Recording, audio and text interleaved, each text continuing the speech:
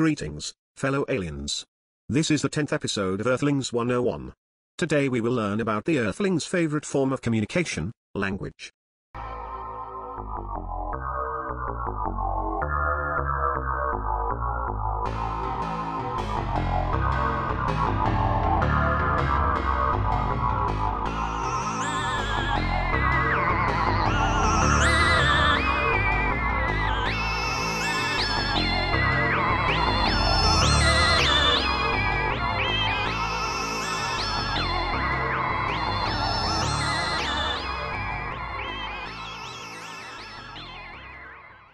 A language is an acoustical code, produced by the mouth, and perceived by the ears.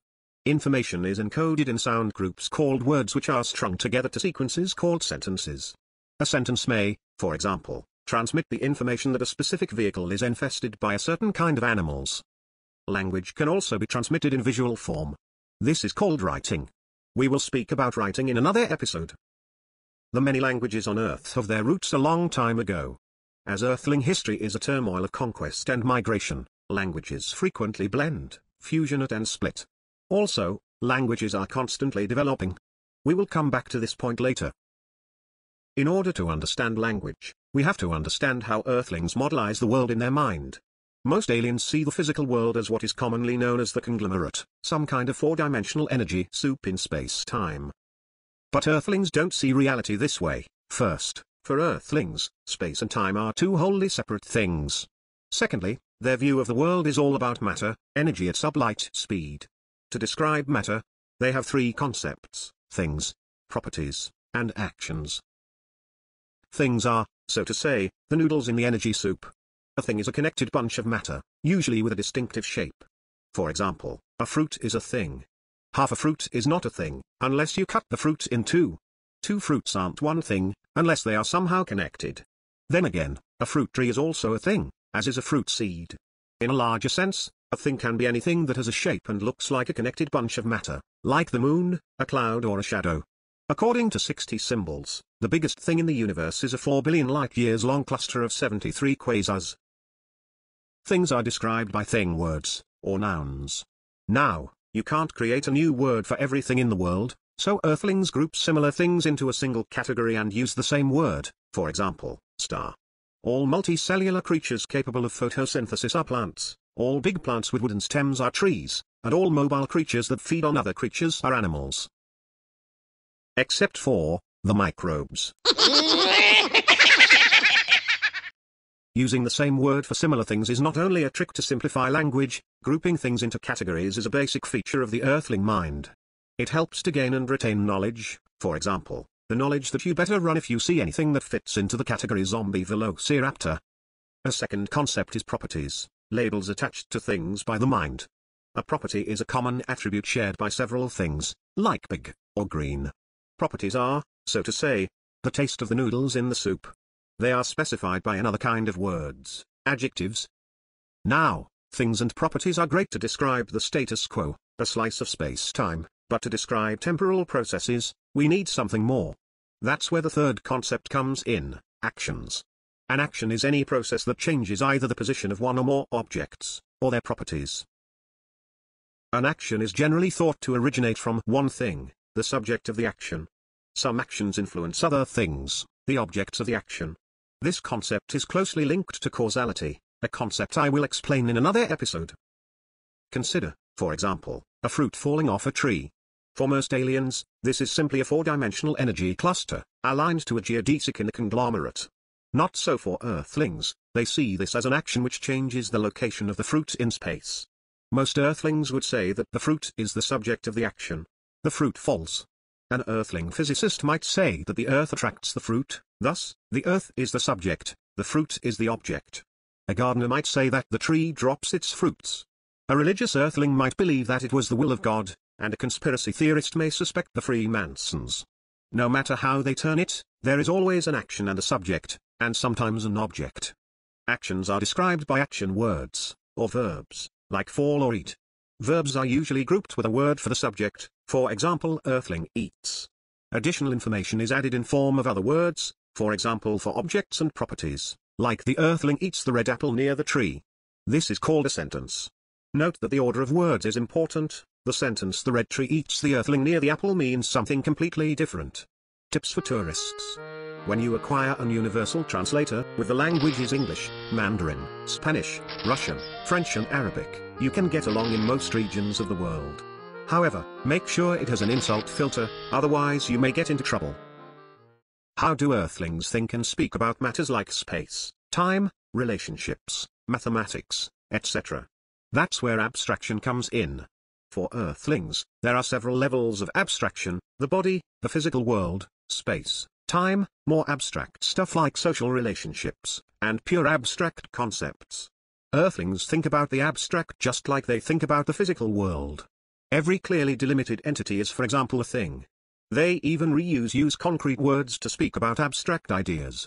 Using words for one thing to describe a different thing is called a metaphor. Numbers, for example, are usually described with vertical spatial metaphors, figures are high, low, they raise, fall. This comes from the earthling habit of stacking merchandises vertically. Time is rather described with horizontal spatial metaphors, before, after, back in time, time runs. This comes from horizontal movement. Common galactic languages are usually developed by planetary brains, creatures of pure logic but who had to learn about time, space and reality. In consequence, those languages have been developed from the abstract to the concrete.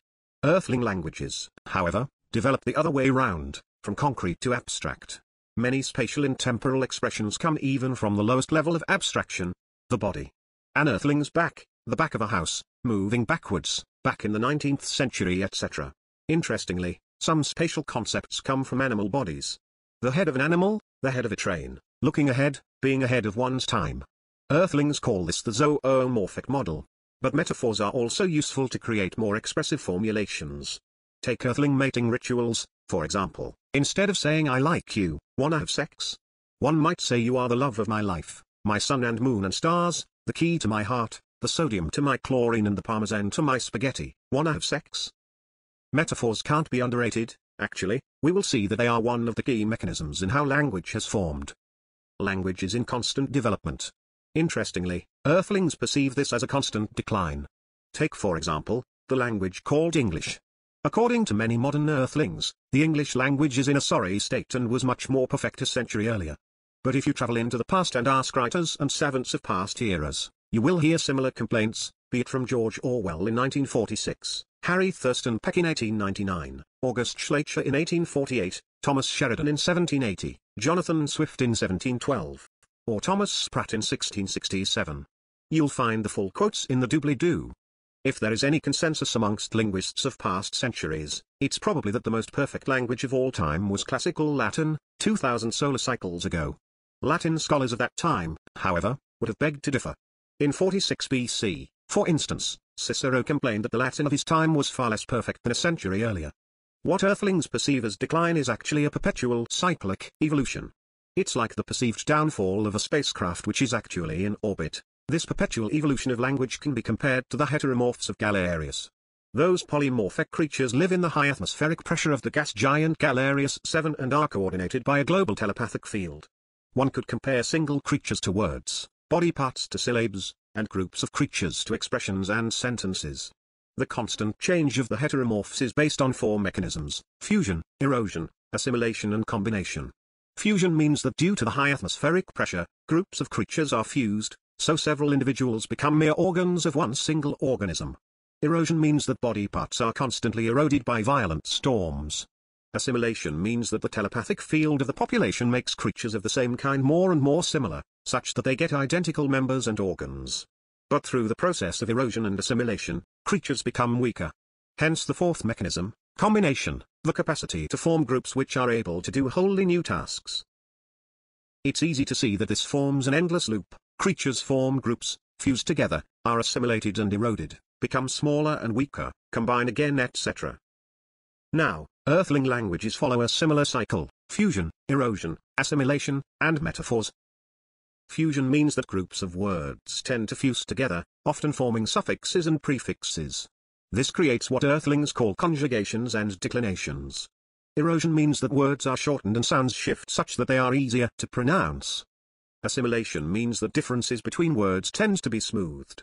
For example, conjugations of verbs become more and more similar. This is how general grammar rules form. Those three mechanisms come from Earthling's laziness, they make language simpler to pronounce and rules easier to memorize. But they also reduce the expressiveness of words. That's where the fourth mechanism comes into play, metaphors. As mentioned before, metaphors mean that words, or groups of words, are used to express something completely new. This is the main constructive mechanism of language. Like the life cycle of heteromorphs, the evolution of language is an endless cycle of creation and destruction. Words are combined to new, colorful metaphors, they fuse, are eroded and assimilated until they are mutilated and worn out. Eventually they are combined to new expressive metaphors, and so on. The whole building of language is nothing else than an asteroid reef of dead metaphors. In other words, the etymology of language is inherently fractal, words are old groups of words, which were old groups of words, which were old groups of words, and so on. Strategic advice Earthlings' language can be misleading. For example, the frequent use of the word tanks in radio messages may lead you to the conclusion that the Earthlings will use large tank vehicles to spray your troops with deadly hydric acid. However, once you have equipped all your soldiers with protective gear against hydric acid, you may discover that military tanks are actually something completely different. To demonstrate the evolution of language, let's look at the English word gonna. In modern English, this word indicates near future, we're gonna eat, it's an abbreviation of going to, but only in the sense about to, not walking to. Hundreds of solar cycles ago, going to was only used in the context going or traveling to a place. Then, in what earthlings call the 15th century, going to do something appeared, but only in the sense going somewhere, in order to do something, for example soldiers who are going to bring a prisoner to a castle. From there, the meaning shifted gradually towards a more abstract meaning, and in the 17th century, we read of an arms depot which is going to be taken away, the arms depot is certainly not walking anywhere. So, going to has become, as a grammar manual from 1646 puts it, a sign of the future. From there, the future going to became more and more popular. Then, at the beginning of the 20th century, an eroded variant of going to appears, the word gonna, as it is used till this day. Scientific advice Many Earthlings believe that language and logic are uniquely processed by the left half of the brain, whereas things like creativity, images and music are solely processed by the right half. That is utter nonsense. So, if you swap the left halves of the brains of a French-speaking painter and an English-speaking musician, you don't get a French-speaking musician and an English-speaking painter, you just get two very messed up Earthlings. But now, let's travel into the future of the English language. Consider the verb to have. Traditionally, this is conjugated I have, you have, he has, we have, you have, they have. In the present, erosion has created the shorter forms, I've, you've, he's, we've, you've, they've. The pronoun and the verb are about to fuse into one single word. In some regions, the plural you've has been replaced by you'll a short form of you all have. In a hundred solar cycles, the apostrophe will be dropped and the pronouns will have become prefixes, I've, you've, he's, we've, you'll have, they've. Some centuries later, the conjugation will be simplified through assimilation to I've, you've, he've, we've, you'll have, they've. Eventually, erosion will replace I've, by the easier to pronounce Eve, and you'll have, by Yav. 800 solar cycles from now, all English verbs will have adapted the same prefixes for present tense, again, through assimilation, he talk, you talk, he talk, we talk, ya talk, thee talk, the future tense will be marked by an eroding gonna, he not talk, you not talk, he not talk, we not talk, ya not talk, thee not talk, and the past tense a crippled, have, eve talk, you've talk, he've talk, we've talk, you've talk, they've talk. But in the same time, the mechanics of metaphor will build new colorful expressions. For example, a thousand years from now, the invention of time travel will require a whole new set of grammatical tenses. For instance, to say that someone did a time jump to escape death. One would say he've jumped fro die, he has jumped from dying. So, the verb jump, originally a body movement, becomes an auxiliary verb for time travel tenses. By the way, this episode is partially based upon the Earthling book The Unfolding of Language. It describes in great detail how language has developed. I put a link into the doobly-doo. A personal remark, when you want to be a YouTube partner or make money with your videos, you need an AdSense account. Like most YouTubers, I took care of respecting the rules. Nevertheless, AdSense has closed my account for invalid activity, without telling me what I am actually accused of. This means three things, I will continue making videos, but I will never be able to make money with them. Secondly, I can't never again become a partner or join a network. And third, I have no idea for what I'm punished, I can only guess that someone click-bombed me. I will probably make a video about this incident. This was the 10th episode of Earthlings 101. Next time we'll talk about something that is crucial to understanding all kinds of group behavior, rituals. This will also explain why Earthlings like t-shirts with strange symbols. Thanks for watching, and as always, don't forget to be alien.